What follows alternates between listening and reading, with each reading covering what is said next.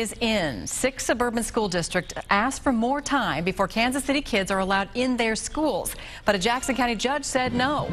Zach Tecklenburg shows us what that means when school is back in session. Zach?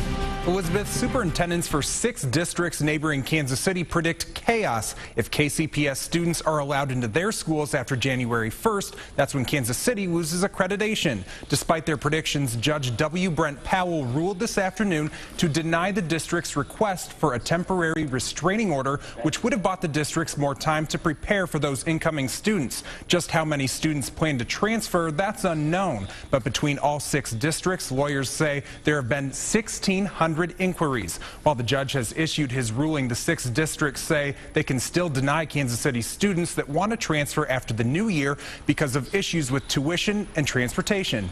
We will not enroll them until uh, we can assure our taxpayers that they're not going to flip the bill for educating Kansas City, Missouri School District students.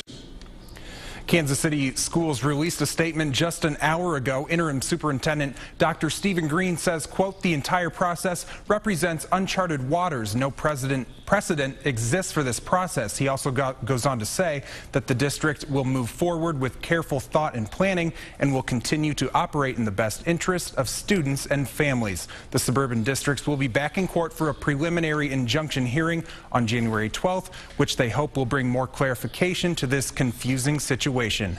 Zach Tecklenburg, NBC Action News.